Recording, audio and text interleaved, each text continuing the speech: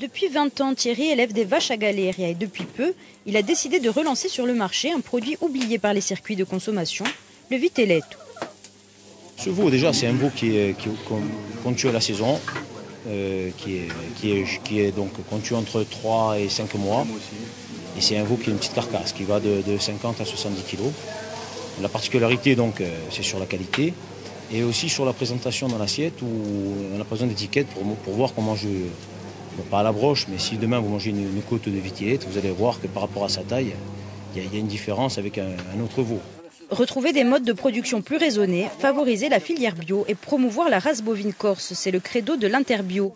Une mutation pas toujours évidente pour les éleveurs, surtout ceux de l'intérieur.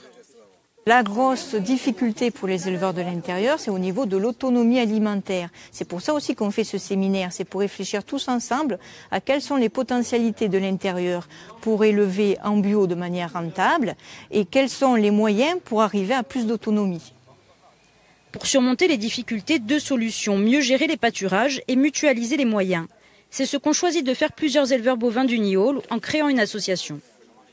La filière est mal organisée ou pas organisée du tout, et on en a marre de ne pas vendre nos, produits ou de les vendre à des prix dérisoires. Euh, euh c'est pas intéressant pour nous. Donc euh, on a fait le choix de, passer en, agriculture biologique et de là euh, essayer de, créer le marché, de faire des circuits courts, de transformer et de, faire des ventes directes pour valoriser plus nos produits.